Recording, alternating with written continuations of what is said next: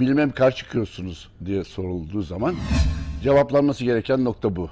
Evet, Lepişon ve Şengör'ün görüşlerine karşı çıkıyorum. Çünkü ben bu ders anlatıyordum. Yani payın pay ne zaman deprem olur soruyorum çocuklara. Fay nerede deprem nerede olur? Fay düzleminde. Peki ne zaman olur? Makaslama kuvveti normal kuvveti yendiği zaman. O zaman bu durumda Marmara Denizi'nde tekrar söylüyorum 6,5'luk bir deprem son derece bilimin söylediği yer. Niye? Marmara Denizi'nde kitleme denizi sığ olduğu için 7'den büyük deprem olamaz. En Çınar Çukuru'nda da en fazla 6.8'lik deprem olur. Ama bu arkadaşlar sayıyla konuşmadıkları için rahatlıkla 8.1'den 7.6'ya inebiliyorlar. 30 yıl içinde iki tane 7.4'lük veya 3 tane 7 üzerinde deprem olacak lafı çöpe atıldı. Armijo bunu yazmıştı çöpe attı. Ama birçok arkadaş halen bunu devam ettiriyor. Efendim merhabalar. Profesör Doktor Şener Üşümezsoy ile birlikteyiz. Ezber bozan bilimsel açıklamalarıyla e, gündem yarattı. Özellikle beklenen olası İstanbul depremi ile ilgili açıklamaları da e, herkesin dikkatini çekiyor. Şimdi hem olası İstanbul depremini hem de Türkiye'de başka riskli yerler var mı konuşmak üzere bir aradayız. Sizden gelen çok çok istek doğrultusunda.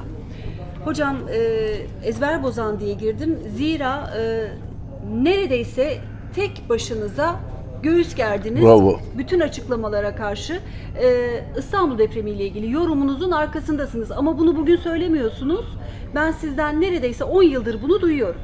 Evet tam 20 yıldan da söylüyorum. Şimdi ezber bozan bilimsel açıklama ile bilimsel açıklama arasındaki fark şu. Ezber bozan sanki bilimsel açıklamalardan farklı bir açıklama. Ama bilimsel açıklama ise gerçekten bilim dünyasının ortak görüşlerinden ortaya çıkmış açıklama. Peki diyeceksiniz ki e, Türkiye'de Lepişon bütün hepsinin bilimsel aklını temsil ediyor ve bunu takip bunun da Türkiye'deki temsilcisi Celal Şengör. Ama siz bunlara karşı çıkıyorsunuz, bilmem karşı çıkıyorsunuz diye sorulduğu zaman as, e, cevaplanması gereken nokta bu. Evet, Lepişon ve Şengör'ün görüşlerine karşı çıkıyorum. Çünkü ben arazide çalışarak fayların nasıl birbirine geçtiği, nasıl geniş bir kuşak içinde yayılabildiği ve fayı oluşturan kuvvetlerin kaya içinde izlenebildiğinin ekolünden gelen bir kişiyim. Ama e, bu birdenbire bilimsel açıklama diye ileri sürülen bir sezgici anlayış, Popperci anlayış. Ben hiç eski çalışmalara bakmam. Bir fikir atarım ileriye. O fikri daha sonra bilimsel çalışmalar çürütür veya kanıtlar. Yani bir taş atıyoruz kuyuya, kırk akıllı çıkamıyor misali. Peki bunun örneği nereden, ne ilgisi var hocam bundan? 99 depreminden evvel adaların kuzeyinden geçen, yani Marmara Denizi çukurlarından geçen fay hattı kabul ediyordu Barkan'ın modeli. Ben bunu çürüttüm, böyle bir model olmaz diye. Ve bu arada ama e, bu çerçeveler şeklinde Marmara Denizi'nde faylar var deniyordu. Kuzey ve güney kenarında ana e, düşey faylar, onların yanında da gelen çerçeveler. Çerçeveli yapı diyelim buna, Pulapart deniyordu. Harita Genel Müdürlüğü'nde yapılan 99'da bu tartışmada Aykut'un modelini yerden yere vurdum. Bu arada Celal de o model içinde savunuyordu ve bana Erzincan'da da Pulapart var gibi bir şeyler söylüyordu. Ama sonra ne oldu? Birdenbire Lepişon bir gece farklı bir düşündü. Marmara dedi, e, bu kuzey kenardan, adalar payından kenarına geçen fay yok. Çukurların tam ortasından boydan boya 180 kilometre giden bir fay var. Biz dedik ki bakın çukurdan ortasından dümdüz giden bir fay yok. Öyle olsaydı orta sırtı, batı sırtı kesmesi gerekir. Onu görmüyoruz. Ama Yalova Çınarcık'tan güneye doğru giden bir fay var. Öbür kolda Düzce'ye doğru giden bir kol var. Düzce'de deprem olacak. Bu dedikten sonra bu o kadar ileri gitti ki e, bu açıklamaya cevap olarak işte bir deprem, büyük kıyamet Bol'dan başlayacak, Gelibolu'na kadar gidecek. E, e, ve veyahut da küçük kıyamet İstanbul'dan başlayacak, Gelibolu'na gidecek. Büyük kıyamet 1509 depremi, küçük kıyamet 1776 depremi. Bu o kadar e, sürekli tekrar ediliyor, tekrar ediliyor. Buraya Clinton geliyor, bu haritayı e, televizyonlar yayınlanıyor. Fakat bu kadar popüler olunca olayı bilen dünyanın e, deprem bilimcileri, mesela bu anlamda arazisi olmayan spekülatif jeoloji, spekülatif sayılacak makaleden makale çıkarma anlayışında olan bir arkadaşımız. E, diğeri ise Lepijon gemi jeoloğu olarak var olan ama arazide fayları kırarak veya uydudan fayları inceleyen veyahut da depremlerdeki sismik kayıt, e, stres aktarımlarını inceleyen ve e, tarihte bütün binaların kataloğunu yapan büyük bilim adamları bu boydan boya 180 kilometre fay 7.8, 8.1, 7.6 lafına güldüler. Biraz daha somutlayalım. Lepijon e, dediğim gibi proje olarak gemi jeoloğu, yani deniz jeolojisi belki yapar. Arazi görmüş değil. Celal makalelerden makale ağırlıklı yapar. Birinci kaynak değil. Ekol bu. Tez atar, onun verilerini arar. Peki e, ne oldu dersek ilk itiraz Dan pardon ilk itiraz Armijo'dan Armijo ilk itiraz Armijo'dan da değil. E, Nicholas Ambrese'den geldi. Bu Imperial'ın harika deprem bilimcisi, engineering ve seismologist ve bütün dünyadaki eski depremleri de inceliyor ve eski depremde harabelerdeki deformasyonu inceliyor. Ve bu kişi dedi ki 1509 depremi Lepichon'un söylediği gibi 180 kilo, 170 kilometre fay 7.8'lik veya 8.1'lik bir deprem tarihte olmamış. Nereden çıkarıyorum dersen 1509 depreminin etkilerini İstanbul'da inceledim. Donmuş etkiler, frozen effect. Bu Galata Kulesi'nde, Rumeli Hisarı'nda, yumurta taş üzerine taş konarak yapılan binalarda bahsedildiği gibi onlardan 20 kilometre ileride 8.1'lik deprem olsaydı bunların hiçbiri kalmazdı. Ama yapılarında da bu yok. Ambrese bunu böyle deyince büyük kıyamet ortadan çıktı. Mesela tsunami oluyor deniyor. Tsunami e, tu, önemli. Tsunami e, için kayıt, en erken kayıt bundan e, depremden 200 yıl sonra olmuştur dendi. Ve bu anlamda bakıldığı zaman ikinci nokta Fatih'in surları bu çok ilginizi çekecek. Tsunami'ler yıkmış deniyordu ya. Evet. Yani İstanbul'un surları. Nicholas Ambresey burada büyük olasılıkla bu yıkılan surlar kara tarafından ve bunlar Fatih topları yıkılmış surlardır. Depremle değil yani. Değil 1509'da. Yani neticede sanki büyük deprem İstanbul'u fetheden Türklerden intikam alma anlamında İstanbul yerle bir olacak deniyordu. İkincisi de Ambresey de bunu şey yaptı. Daha sonra e, Dan Mackenzie'den sonra Ambresey, Ambresey'den sonra Robert Rellinger, MIT'den bütün e, dünya üzeri, şeydeki Kuzey Anadolu fayı ve Doğu Anadolu fayı üzerindeki bütün e, GPS kayıtlarını inceleyerek gelen kişi söylediğim gibi Marmara Denizi'nde iki tane e, e, pardon üç tane 7.4 üzerinde veyahut iki tane 7'den yukarıda Kuzey Marmara kenarında deprem olamayacağı çünkü orası çok sığ olduğunu ama boydan boya ortadan giden fayın da derinliğinin 7 kilometreden daha derin değil. Orada da olacak en büyük deprem 7'liktir. Daha sonra 2017'de Silivri depreminden sonra geldi. Teknik Üniversitesi konuşma yaptı. Dedi ki bazı arkadaşlar bizim iki grup bir veri setine e, sahip olarak konuşan ben yıllardan beri depremden önce de sonra da Marmara Denizi'nin çevresindeki GPS'leri izliyorum. Yalnız oraya değil Kuzey Anadolu fayı ve Ölüdeniz fayında olmak üzere. Ve burada baktığımızda Marmara Denizi'nde kitleme denizi sığ olduğu için 7'den büyük deprem olamaz. En Çınar Çukuru'nda da en fazla 6.8'lik deprem olur. Ama bu arkadaşlar sayıyla konuşmadıkları için rahatlıkla 8.1'den 7.6'ya inebiliyorlar. Ama bu depremde gördüğümüz gibi 7.7 ile 7.6 arasındaki farkı bile ne kadar büyük olduğunu gördünüz. Fay sonra dümdüz gider bir fay. Ee, depremde gördük ki fay oradan oraya atlıyor, oradan oraya atlıyor. Böyle dümdüz Tren gibi değil. çizen fay deprem arazide fay görmemiş olma ile çizilebilir. Ee, Cumhuriyet Bilim Teknik'te de o çıkan dümdüz bir faydı. Daha sonra ne yapalım bu kadar saldırı üzerine Roland Armijo'yu getirdiler gemiye. Gemide bilimsel kaptan olarak. Çünkü e, Lepichon gemide çalışmıyor. Yani gemi organize ediyor Avrupa Birliği'nden parayı alıyor ama çalışma değil.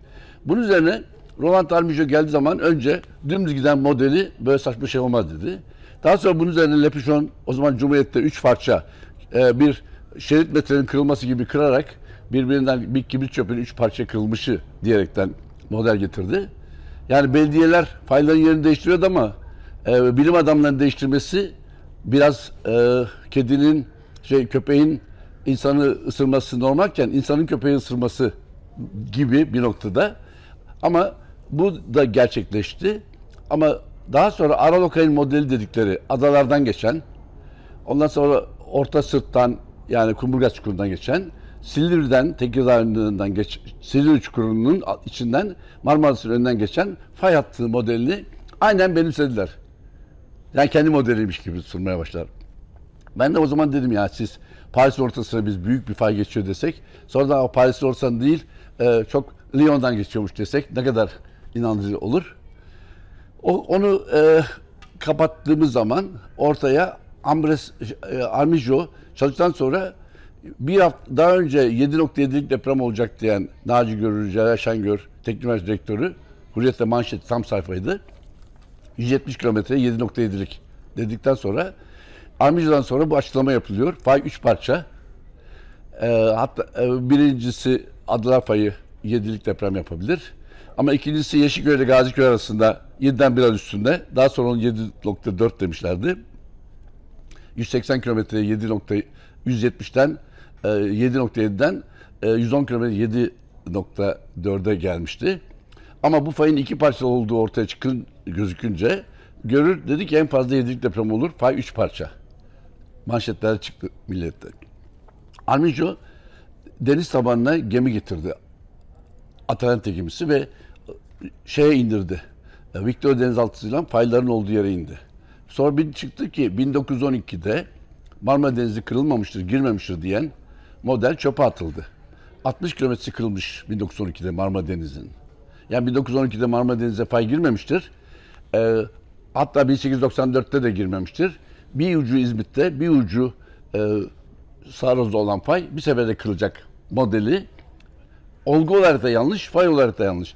1912'de Tekirdağ Silivri çukurundaki 60 kilometre kırılınca 110 kilometre fayın geride 50 kilometre kaldı. Kumburgaz çukurundaki bu fay ya bir fay ekleyerek e, orta sırt dediğimiz avcılarla büyük avcılar sırtına benzeyen bir sırtla Florya'dan e, Yeşilköy'e kadar giden 20 kilometrelik daha sonra 30 kilometre bir fay ekleyerek 50 kilometre fay 7'lik depremden 70 kilometre fay 7.2'ye gelinmişti.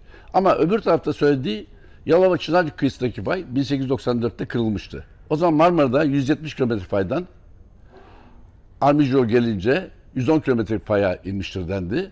Armijo ona inanmadığı için gemi getirdi. Bu sefer 50 kilometre faya inmiştir dendi. Adı, bu da 8'lik depremden 7'lik depreme inmek 30 kat fark vardır. Bu son depremde 7-7'likten sonra 5-6 tane daha 7'lik deprem oldu. Onun hikayesiyle. Bu boyutuna baktığımız zaman bu şeyde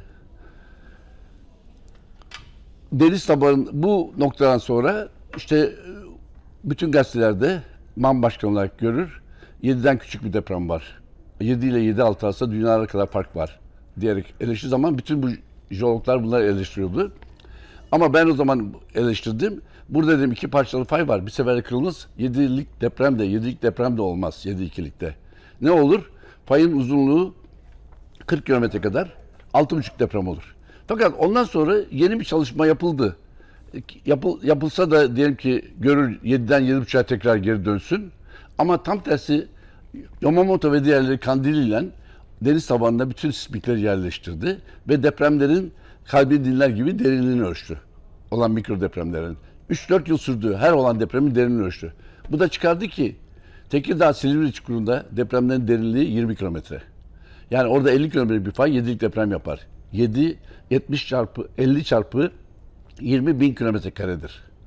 Ama Kumurgaz Silivri çukurunda da derindir. Ama birdenbire Kumurgaz çukuruna geldiği zaman 10 kilometre iniyor. O zaman buradaki 40 kilometre 400 kilometre kareye yapar. Ama e, 50 kilometre olsa bile 500 kilometre yapar. Bunun da büyüklüğü, deprem büyüklüğü 6,5'tur. O yüzden ben bunu 6,5 diye belirttim. Ondan sonra yeni bir şey çıkmadı derdi. Günümüzde 7,5 depremleri, e, Lepişon 90 yaşına geliyor. Allah daha uzun ömür versin.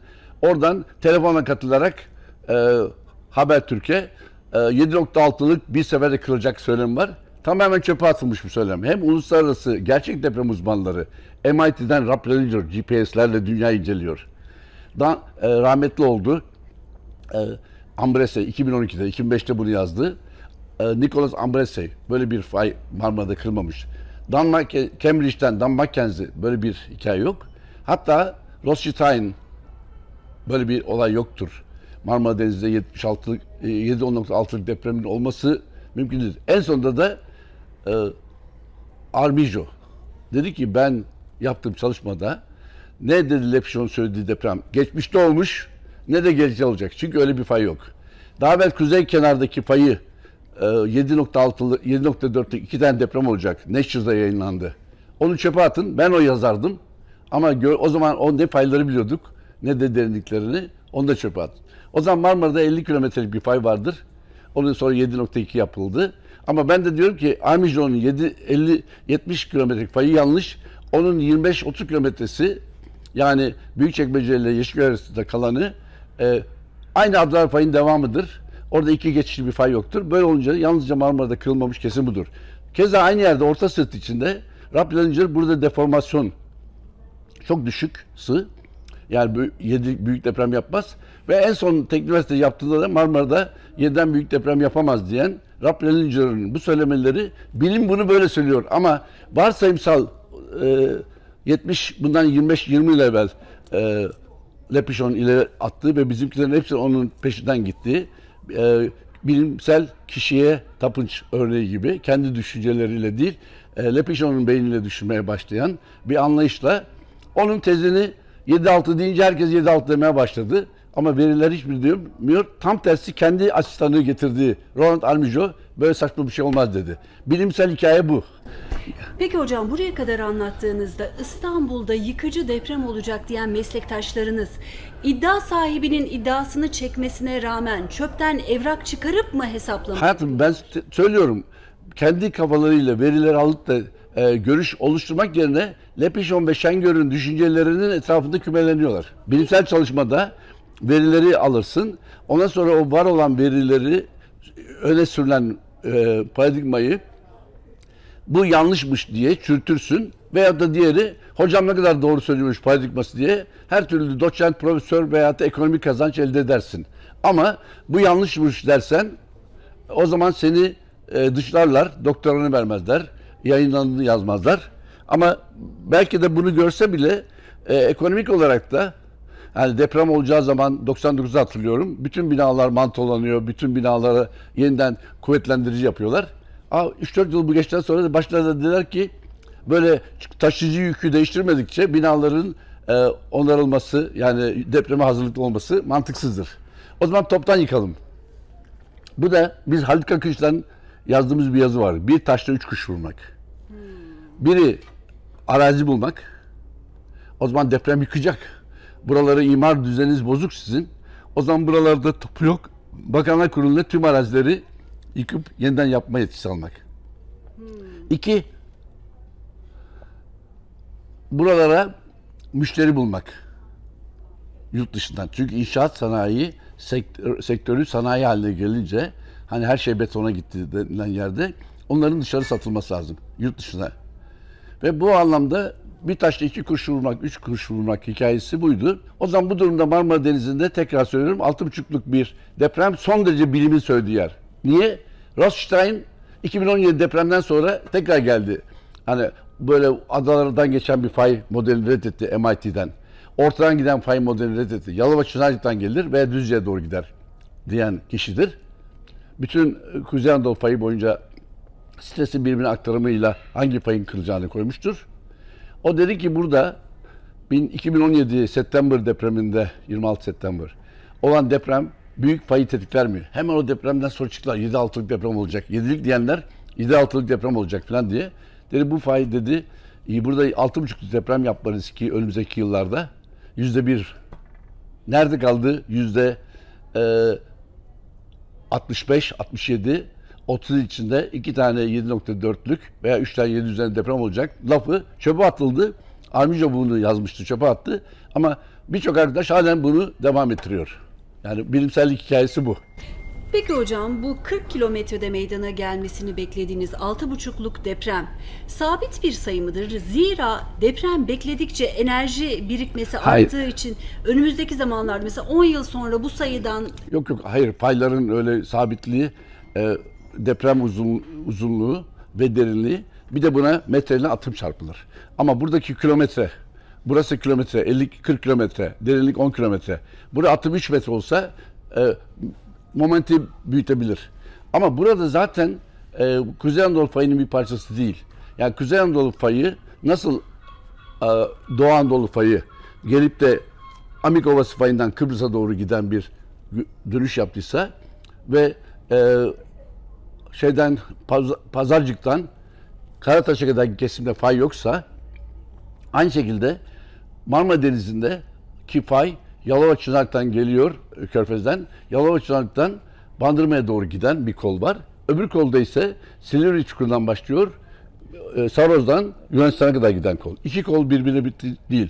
Arkadaşlar iki kolu birleştirmek, cetvelle fay çizmek gibi. Karlova'dan dümdüz Kıbrıs'a kadar yani Adana'dan Kıbrıs'a kadar giden bir fayı çizdiler. Buna Doğu Anadolu fayı dediler. Demek ki bu yapılan tektonik hatalarda sürekli modeller çiziliyor. Adana'nın içinden bir fay geçiriyorlar ve Adanalılar bugün yıkılacağız diye bekliyor. Aslında Adana'yı yıkacak olabilirse fay. Amanos Dağları'nın kenarındaki e, düşey faylar. O fay e, Osmaniye Ovası'nı açıyor. Öbürü e, şeyden gelip e, dört yoldan e, İskenderun'a giden hattaki çökme. Öbürü de Arsuz'daki fay hattındaki çökmeler. Ama bunlar normal faylar olarak çalıştığı için böyle tren yolu gibi giden faylar değil. Peki olası Kıbrıs riski Adana'yı etkiler mi hocam? Kıbrıs riskini iki yerde hatalı yapıyorlar. Biri gerçek Kıbrıs riski. Kıbrıs'ın güneyinden e, Kıbrıs'ın altına doğru dalan e, yitim zonu. Onun önünde Tordos masifi yükselmiş. Ve bizim Antakya'da aynı Tordos masifi devamı. Ama bir de Kıbrıs'ın kuzeyinde Türk kesim var. Kreeniyen burun böyle kamç gibi. Veya Kardos dediğimiz kesimden fay çıkıyor. Bindirme fayı. O Karataş fayına geliyor. Karataş fayından kuzeye doğru gidiyor ama aktivitesi çok zayıf bir fay. Kıbrıs'taki o fayda Kıbrıs'ı Adana etkileyecek bir iş kesim yok. Ama güneydeki yani Kıbrıs'ın güneyinden geçen kesim Antakya bölgesini etkiler. Yine İskenderun'u etkiler. Ama daha öbür riskli ise Kuzey Ölü Fay. Kuzey Deadly, Dead Sea Fay. Hocam fay kırığını bize yani fay böyle mi kırılır? Ortadan mı nasıl kırılır? Çok güzel bir soru. Şimdi ceketlerimiz var, düğmeliyoruz ya. Bu düğmelerin her olduğu yerde stres yoğunluğu var. Burada hareket kilitlenmiş. O kilitlendiği yerde iki tarafa doğru fay hareket edemediği için düğme düğmelenmiş orada kalmış. Buna asparti diyoruz. Ama küçük faylarda bir tane asparti kırılır. Bahsettiğim altı buçukluk gibi olur. Ama mesela bu son depremi söyleyelim. Son depremde Pazarköy'de başlayan asparti doğuya doğru ikinci göl, göl başında ikincisi kırdı. 8'er metrelik atımda iki tane odak yaptı. Aradan boş bir kızı. Daha sonra geldi İs- şeye e, Nurdağ ve İslahiye. Orada e, 4-5 metrelik atım yaptı. Ondan sonra güneye dönünce geldi Kırıkhan'da bir kırılma yaptı. Bunu şöyle anlayalım. Bunu yapıştırdık burayı bu şekilde. Biri buradan tutalım, bir buradan. Fayda depremde bir sıkıştırma gücü var. Bir de makaslama gücü var. O zaman bu düğmelerinizle makaslama yapmak için biri buradan, biri buradan tutalım. Böyle çekelim. Düğmelerin birinden zayıf olanı yırtılır. O yırtılınca onun hızıyla ondan sonrakini yırtar ve diğerini yırtar. Bunlara kaskat deprem diyoruz. Mesela 17 Ağustos'ta da o yüzden burada e, ya- yaklaşık e, bir buçuk dakikadan fazla oldu. 90 saniye gibi. Yani bir kırılıyor. Ondaki sıkıştırma ve makaslama gücünün dengede olduğu stres hemen öbür kuvvet faya atlıyor, veriyor iki ucuna. İki ucundaki kırılıyor, diğerini kırıyor. Ve böylelikle de düğmeler teker teker kırılıyor.